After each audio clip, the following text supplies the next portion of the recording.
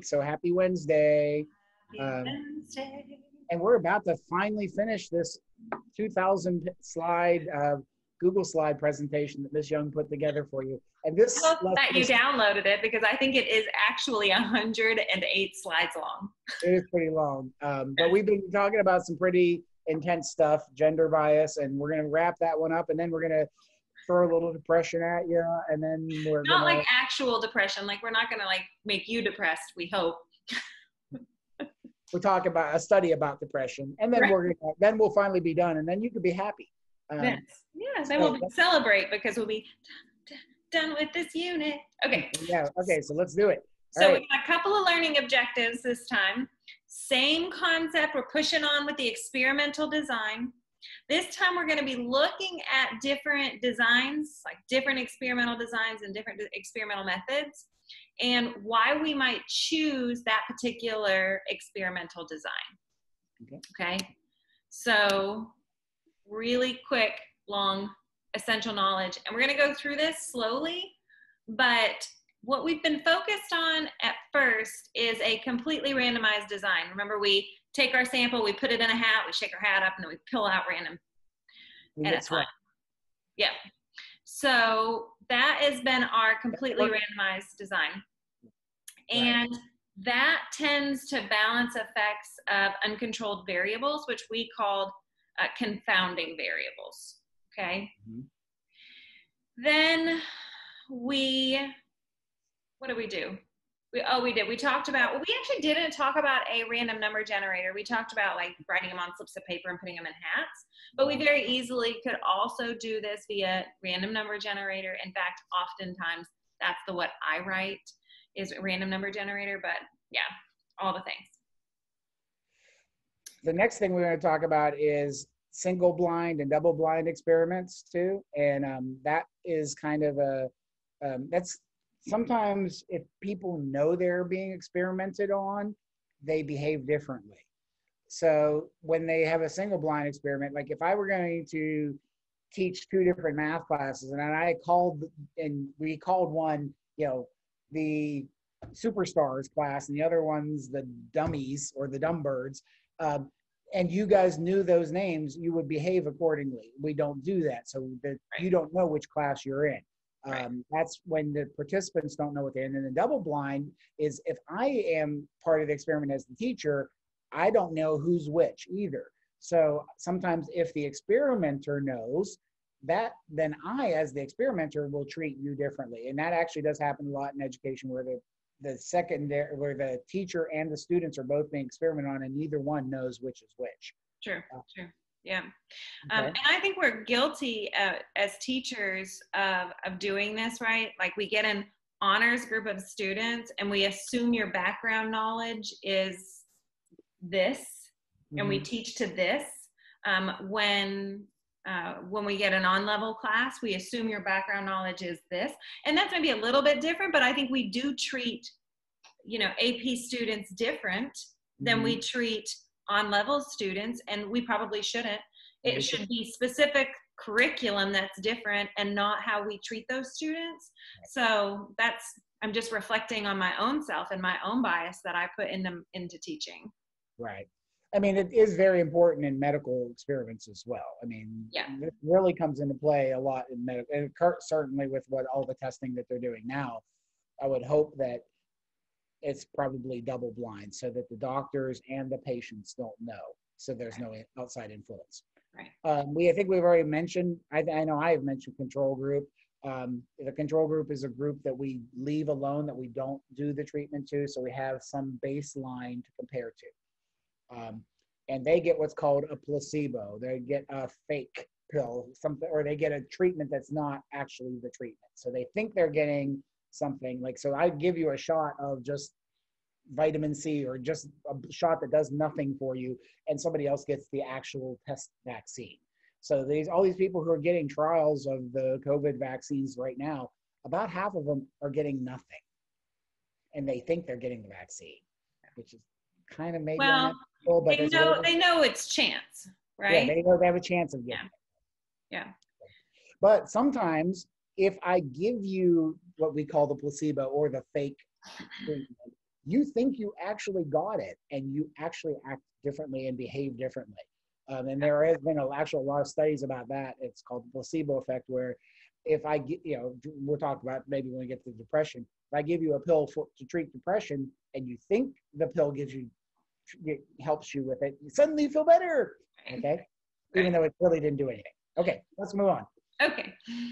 So when we start looking at our designs, we're going to look at a block design and we're going to look at a matched pairs design. And I'm not going to go into these definitions right now because we're going to talk about them in depth during for the studies. But it is important that you say it, what, read it, write it, say it, learn it. So it probably would behoove you to hit pause. Make sure that you have these two designs on paper. Okay. All right. A completely randomized design, which we call a simple random sample, is the simplest of all designs. I take my sample, I assign you all a number, I pull your number out of a hat or from a random number generator and without replacement, and we go from there. That is your completely random or simple random sample design. Okay, your completely randomized design. And so that's kind of like if we took our tier one and our tier two and we just told we just completely randomly put them into the John Jennifer, okay, I could end up with a lot of variations of how this could have happened. Right. They're balanced so, there, but they may not have been. Okay. Right. Right. Um, and so what happens when I have that variation in random assignment is there's going to be overlap of what people think and feel and whatever. And there's going to be this, these people that there's no overlap. And that's because there are big differences due to chance alone. Okay. What, when we have a problem is when there's not a ton of overlap. That's when we start thinking, okay, well, maybe we have an issue here. We need to do a better job. So how are we going to reduce the variability due to school tier? And this is what Mr. Bobby was talking about in our last video, where he was saying like, oh, okay, well, let's take our two groups and let's make sure we split them evenly. And that's called randomized uh, block design. I'm sorry, block design. Yeah. Where we make subcategories and then randomly design divide within those subcategories, but they call them blocks in statistics. Right. Right. Um, a lot of times this will be like males and females, or it'll be age groups or something like that. Okay. like at the high school, we would want to survey uh, sophomores, juniors, and seniors separately because you all would each have different opinions about certain things. We wouldn't right. want to survey all of the sophomores about activities to have um, for a senior and that could potentially happen i mean it's not it's not likely but it could potentially happen if we did an srs right? So mm-hmm. then we want to if we want to make sure we get a certain number of each group then we can group them and pull randomly from each group. You would have called this a stratified sample um, before when we were doing observational studies okay? Now that we're doing experimental this is called a block design. This design reduces variation between treatment groups at the start of the experiment, makes it easier to show that differences in responses are due to the treatment rather than chance, okay, rather than chance. So here, we're gonna describe a block.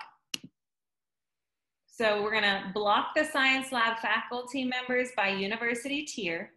In each block, we're going to assign each faculty member a number one through six. So we put them into blocks, tier one and tier two. Each one gets a one through six. We write down uh, identical, uh, excuse me, write numbers down on identical slips of paper, draw them out of a hat for three, without replacement, John Jennifer groupings, so on and so forth. Here we go. Three to John, three to Jennifer, random from the tier, not from the whole group, but from the tier. So those three for John and three Jennifer have something in common or something we think is important that we're eliminating that behavior or that trait from the experiment by grouping or blocking them. Yeah. Then we do it again for tier two. Here we go. And so what are we gonna do now? Okay, well, we're gonna take the two groups, compare, take the two groups, compare for tier one and tier two. And then we're gonna combine their results after accounting for the average difference in each block. Okay? And all of the math that's happening, we're gonna talk a lot about the math later. Later, don't worry about that. Just get the philosophy right now. Right. So understand, we didn't- And when we assigned it earlier in this presentation, they were assigned randomly just by chance, but it could have been, we might have had, you know, um, may not have had balance between the groups. And that's what we want. We want Yeah. a balance between the groups. forcing the balance, forcing the balance. Okay, so we're gonna switch now from feminism. I'm not feminism, but whatever. Quality, or quality to mental health. Yes, from equality to mental health. Yeah. And we're going to look at a study that dealt with depression. So, depression arises from a comp. What? This isn't a presidential debate. We aren't going to yell at each other. Oh, okay. Yeah. Wow. this is not appropriate. we're on video. Oh, yeah. Sorry. Or it's the day after the first presidential debate, and we were, Yeah. we were just laughing at it. So, all right. Anyway, this is why we're talking about depression today. All right, so depression arises from a complex interaction of biological, uh, psychological, and social factors. Knowing which factor is most influential could potentially help the treatment. okay. I'll, I'll buy that. Okay, so can we design an experiment that isolates which factor is the most prominent cause of depression? Biological, psychological, or social? Well, I have three different things I need to test. So I kind of want to look at, I want to break them apart as best I can, right? Right. So this becomes super difficult to control for variation because people have different levels of depression, different types of symptoms, an array of biochemical, uh, psychological, environmental conditions, and then also potential side effects from whatever treatment we decide on. All of these things that could cause variation in our data. So, how are we gonna really narrow our focus? Remember, in our last one, we were able to just say, here are two pieces of paper, the exact same resume, just John and, and, and Jennifer. That's the only thing that's different. So, how can we weed through all this stuff? Is it possible? Okay, so we begin to think about is it possible? And the first thing we need to do is we need to think okay, we need a control group who would be the control group if we started thinking about um, testing a group of people for medicine for depression? And the answer isn't what you think it is. It's not like this group of people and this group of people. The Yeah. control group becomes themselves. Where they are right now at the beginning, right? So this is called a matched pairs design. A matched pairs design is when you're going to compare somebody to themselves. Okay. Imagine I want to know if you can throw further with your dominant hand. Comparing Mr. Bobby and I's throwing to our with our dominant hand wouldn't necessarily tell us a lot.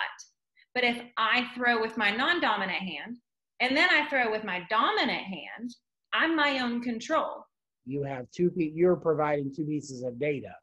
Right. So they're going to get some kind of rating or some kind of measurement before the experiment and then treatment and then after. We're looking Right. for a change in that one person in this case.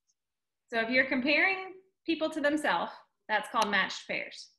Not the only kind of matched pairs, by the way, just one kind of matched pair. You can also match any similarity. If I were to find another 38 year old school teacher, female, with my similar characteristics, I could compare us for in different aspects, right? So that would also be a matched pairs design. A matched pair design is a type of randomized block experiment in which each block is composed of two similar experiments, which we call a matched pair. Mhm. Often the matched pair is simply the same experimental unit receiving both treatments. The order of the treatment should be randomized, though. Did I just get too statsy? Do you want to clarify what I said, or do you feel like it's clear? okay. I mean, it's just that they're, they have some, I mean, often the pairs have a trait in common. Like Miss Young and I would not make a matched pair, even though we always wear the same color shirt. Um, we're different genders, we're different ages. Uh, I'm better looking. I have more shoes. Okay. That Um, last one's true. that is true. Okay. But if we, if I found somebody who had similar traits to me, then I, that would be my partner. It doesn't have to be a before and after kind of thing, but it could be. Okay. But if I, if there was two similar people and uh, if, if uh, we're looking at voting records or something, you know, somebody who had a similar belief as me, we would sit down and, and watch the debate and have different, you know, would it have a different opinion on after watching the debate? somebody Right. who had the same political leaning, same background as me, and then we would watch two different debates or two different commercials and see if that had an impact on us. Okay, Yeah. to talk politics. Since we're talking politics anyway, too. So I wasn't talking politics, by the way, Yeah, I brought it up earlier, so I that's actually very very relevant uh, to anybody who's interested in if you're in, interested in um, politics or going into government and i know that i've had several students from lakeside do that in the past um, you know they have to understand statistics to understand politics I agree. I agree. An important thing on this slide before we move on is that if the experimenter, experimentee, excuse me, is receiving both treatments, then the order has to be randomized. So if I were doing an experiment on dominant versus non-dominant hand, I would want to like say heads is my dominant hand and flip a coin Eh, to decide which hand am I going to throw with first dominant or non-dominant. And every person in the experiment would do the do a similar thing. So then Right. if Mr. Bobby were going next, he would flip the coin. So it's not like Right. the coin So- flip is going to decide everybody's. Right. Because you'd want you don't, you don't want it to be like, oh, maybe they were just tired, and that's why they didn't throw as far with their dominant hand if you started with non-dominant or something like that. Great. I, I can't throw with my left hand. You're right-handed, aren't you? You're not a lefty, right? Correct. I'm not a lefty. My daughter is a lefty though. Okay, so uh, in Right, so 2000, here's the depression study. yes, in 2015 there was a depression study in the Journal of American Medical Association. Uh, this is from Skew the Script as well. Normally I put that little icon at the bottom right-hand corner, and I just realized that that's not there, so I apologize. Um, this lesson describes a simplified version of this depression study, but of course you can always come to this slide and click, and it will be available to you. Okay, so the question, overarching question is um, depression, is it all in your head? Researchers wanted to test if taking a fake pill would actually alleviate depression symptoms, even though the pill had no active ingredients. 35 people enrolled in the study, which is an important number, by the way, uh, which we'll talk about later, and all had major depression. Major depression, I'm sure they defined that in the paper, and none were taking any medications for their depression. Okay, so describe a matched pairs design if I've got 35 subjects. For each subject, flip a coin. Heads indicates they get the fake pill for the first week, no pill for the second week. Tail indicates the opposite treatment. Okay, so we're gonna take a pill for a week, see if it helps, take a pill for not a week, see if, it, you know, that kind of thing. And we're gonna see if there's a difference between the two weeks. Does that make sense? Mhm. You good, Mr. Bobby? You good? Well, go ahead. Okay. I was just hearing your dog in the background. I know, walking around being annoying. Can you hear that my people talking? Because they're annoying me. Have each subject fill Oh, out okay. a depression questionnaire and undergo a PET brain scan at the end of each week. Compare the measurement for each subject and compile the results. Interestingly enough, my husband did brain research for seven years. He would actually sit next to the person in the scanner and ask them questions while another person sat behind the screen to look at which parts of their brains would light up during the questions. It was cool. Miss Robbie, Go back I think that was cool. Go back one second. I just you missed. Uh, there's one thing I want to point out. Notice that uh, the they would get the pill either the first week or the second week. That uh, was random. The mixed up there. So they would be, that's, that, that assignment was made there and they're gonna compare their survey results, I'm assuming at the end. So, Yeah. Okay, experiment ethic, uh, experiment ethics. All subjects were given real depression treatments after the two-week phase of the study. When living subjects are involved, researchers must make their studies ethical. And this is a huge, huge, huge thing. And this is literally what, one sentence, two sentences? There are entire courses in undergraduate and graduate work that deal with nothing but experimental ethics. Okay? So important to understand that you never want something to be detrimental to to a patient. Uh, there's a big debate right now about what Mr. Bobby was talking about with the people who are getting uh, COVID treatment, because if at any time during that research study an actual cure for COVID Mhm. is created, technically the studies that are going on right now Oh, will die. you're breaking up. Yeah. Oh, sorry. Am I I, good you're now? okay. Keep going. Okay. So technically, the people that are receiving all those experimental treatments, they have to get the one that works. That's that's the ethical thing to happen. But the, that means the millions of dollars that are being spent on the experiments right now, like it, it all goes to pot. So it's an interesting conundrum. Okay. Sorry, I was a little choppy right there for a while. Keep going. I think my internet was acting funny. Oh, okay. So I depression study. Do what? Keep going. I, I missed the, some of what you said there, but I it sounded beautiful what I did here. Oh, for heaven's sakes. Okay, depression study results. On average, participants respond uh, reported less severe depressive symptoms after their week with the fake pill. Maybe depression is all in their head. On average, participants showed increased, what's this symbol mean again? That's mu. That's mean. Mm-hmm. Mean opioid receptor brain activity in regions of the brain associated with emotion and stress regulation. So this is just like the sciency way to say that like not only do they think it, but they actually had brain activity. That caused the change in their Yeah. beha- in their behavior and their attitude or their depression. Yeah. Nothing. I mean, it it was their brain be- believing they were being treated caused a change. It caused the treatment. Right. It's it's a physical reaction. This isn't somebody saying like I'm taking pills, I feel better. Like they actually do feel better. Like they do feel their brain science says they feel better from a fake pill. Hmm. Power of positivity.